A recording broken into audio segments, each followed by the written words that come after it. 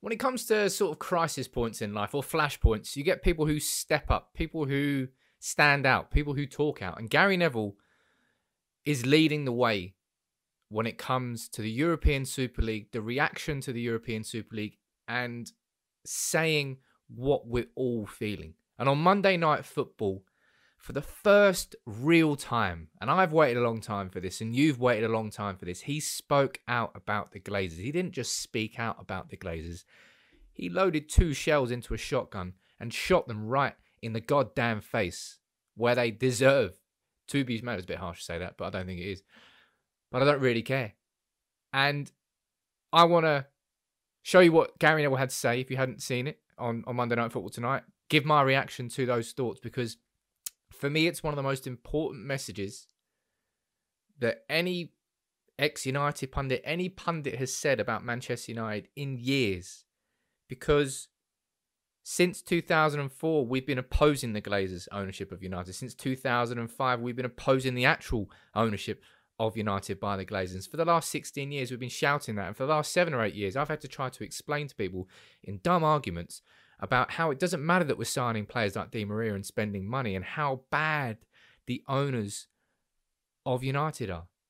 And now that it's affecting everybody in the Premier League, people are starting to realise that. And I'm happy that people are realising. I'm unhappy with the situation of it. But I'm going to run through what Gary Neville had to say on Monday Night Football. Make sure you subscribe if you're new. But let's run through what Gary had to say. And I want to say a few things about it.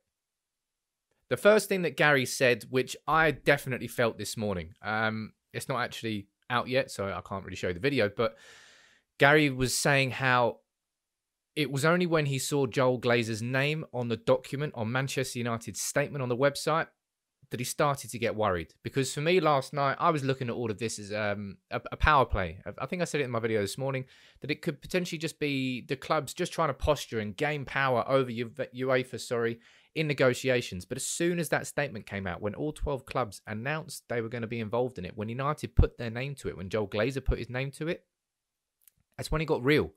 Because as Gary pointed out, when the Glazers bought United, they did it bit by bit, getting the shares, getting the ownership until they got the big ownership shares off McManus. And it was opposed heavily. But the Glazers didn't go away. They just ignored questions that were asked them in the press, avoided questions, and did it regardless of how much backlash there was.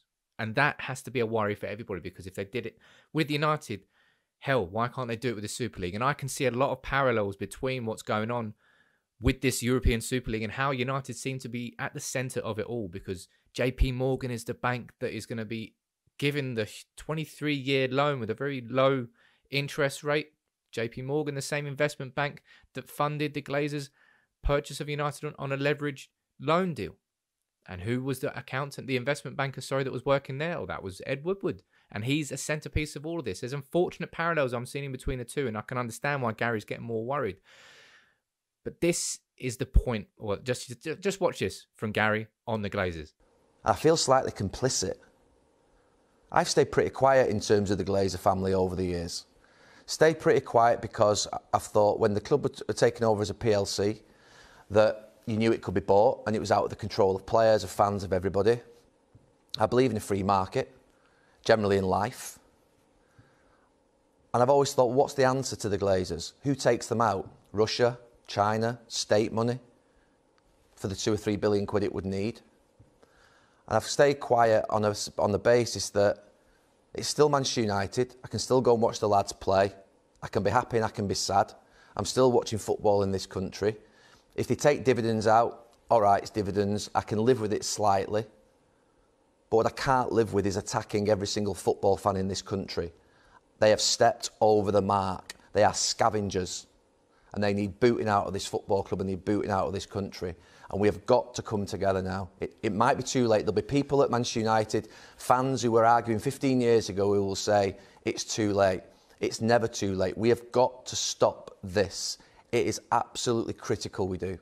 A lot of us have been waiting a long, long time to hear someone like Gary Neville, whose voice is so respected, speak out so vehemently against the fucking Glazers because they are scavengers. They need to be booted out not only of Manchester United, but of the ownership of any club, anywhere. Because I'm sure Tampa Bay Buccaneers fans, if you're watching this, than the fact they won the NFL last year, you will argue the same thing. But just to hear Gary speak like that, speak like I've been speaking, like you've been speaking for, for years now, that's a big watershed moment that we cannot let go of, that we cannot just let slide under. No matter what happens from this point onwards, say it all gets put back in the bottle, ah, let's forget about it. It doesn't matter. Gary has finally said what he really feels about the Glazers. And this is something that I think has always been in there. It's always been there, but he's kept it professionally under the surface. Not anymore. The cat's out of the bag. Gary hates the Glazers just as much as we do. And they are scavengers. And they need to be booted out because they are doing nothing but sucking the life out of Manchester United is what they've been doing for the last 16 years. It's why we all fucking hate the Glazers. It's not because we're deluded.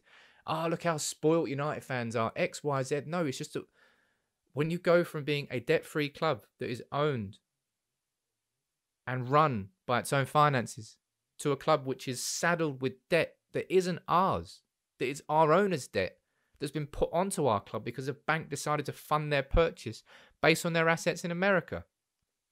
And we're supposed to be happy about that. No, we're not. The only reason we had success post that is because Fergie is a goddamn genius. If it wasn't for Fergie, we would have been in the gutter a long, lot earlier than we are have been in the last seven or eight years because we have been in the gutter. No Champions Leagues, no Premier Leagues. We're not the club we once were. Hell, let's hope we can get back there. But this European Super League is gonna it's made me sad. i am I'm, I'm making an intro for a video, a bigger video I'm doing on this whole situation, and just looking back at '68, at, at '99, at 2008, and are we ever going to have moments like that again as fans? Those pure, pure European glory moments. They're just some of the most spine tingling moments and memories that I've got as a United fan are in Europe. And I'm not sure we're ever going to have them again. But I, I reiterate there, just to hear hear Gary Neville speaking out so passionately, and he's not sitting on the fence. He's pointing the finger at the blood sucking, greedy scavenger glazers that need to be booted out. And a, lot of you, as he as he correctly says it, a lot of you say, "Well, Gary, why weren't you saying this fucking fifteen years ago, mate? Why weren't you not? Why have you stayed quiet for so long?" He admits that he's probably been complicit in all of this, and you know, look, I've done it before. I've admitted my mistakes. And if you can admit your mistakes, you can learn from them, you can move on. Maybe Gary can now spearhead. He won't spearhead some sort of movement. He works for fucking Sky. Who am I kidding? But it doesn't mean that I'm not going to be excited about the idea that the fingers are really, really. It's not just fingers pointing at the Glazers anymore. It's pitchforks from the from every football fan in the UK. I, I want to apologise to every football fan in the UK because the Glazers are now going to be affecting you all in the same way that they've been affecting us for so so long, and I wouldn't have wished that on anybody. Uh, but that's the it's the situation that they're in. When you, as I said it in a video, when you let the wolves in the door, at some point they're going to eat you. And we let the wolves in the door in 2005 when we sold our club on a loan deal to American owners. It took a little bit longer than maybe a lot of us would have predicted to reach this situation, but it's reached that situation. But as much as it's doom and gloom in that sense, Gary continued to go on to say a few things that he wants to see, ha- well, he hopes to see happen in the fallout to all of this. It's difficult not to get emotional and feel sick. But honestly, you've got to write to your MPs, you've got your local football clubs, you've got to write. Everybody's got to come behind this. Pundits for BBC, ITV, BT Sport, forget allegiances, forget who you support. We have got to come together to stop this proposal. This is an attack on everything that's been important in this country. Football has helped in the last 10 months in the midst of a pandemic more than ever keep people going. And they're trying to take it away from us. I really hope that these words don't just fall on deaf ears. Right now, they're certainly not falling on deaf ears because everybody is listening. Because this has been an attack on the institution that is football in the United Kingdom. For so many people, it means so much more than just watching blokes kick a ball around a pitch for 90 minutes. It's it's it's our boyhoods. It's what we grew up. It's what we want to pass down to our kids. It's memories we've got of our granddads, our dads, our uncles, our aunties, our families, our friends, everything. It's what you've grown up doing. Being on the pitch at the at the park for like nine hours on a Saturday when you were a kid. To go into Paris to watch United knock PSG out as a United fan and getting absolutely spangled in a bar in Paris and having a great night out. There's so many memories that I've got from football that, that it is hard not to get emotional and sad about it because it, I really feel that I will not have the same connection with football and Manchester United if this Super League goes through. There will, I, I will, I will lose something. I will lose a connection, and I don't want that to happen. And if there is anything that we can do, let's do it. So let me know in the comments. You know, it's not let me know in the comments. Like, I mean, I, have said it on Twitter there. So I've got a season ticket, being season ticket holder at United now since what 2013. I'm not going to renew this year. Uh, I'm gonna United are giving people the option to pause their season ticket for a year. I'm taking that option. It'll probably mean that I lose my seat. I don't care. I'd rather do that than give United the money. Whatever we can do at this point, we have to.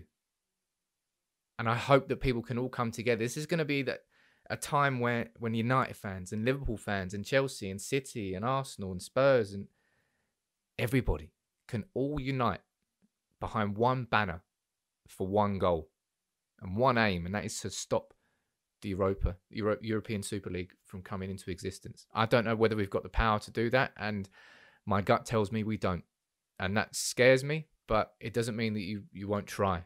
But to hear Gary speak so passionately and powerfully uh, against the Glazers, thank you to Gary for that. I wish it was earlier, just like you said in the video there, but it's better late than never.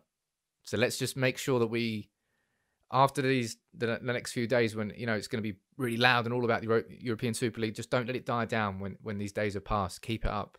And if there's anything you think that I should be doing at United People's TV, let me know. You can send me a tweet at Sam Peoples underscore on Twitter, at United People's TV on Twitter, or leave a comment on here. But just to hear Gary speak how basically I felt about the Glazers, I know the circumstances aren't right but I was glad to see it nevertheless. Let me know what your reaction is to Gary's comments about the Glazers in the comments below. Make sure you subscribe if you're new. And over this week, I'm going to have plenty more videos about this European Super League, about Manchester United, hopefully an interview or two as well. So make sure you subscribe. Until next time, though, take it easy.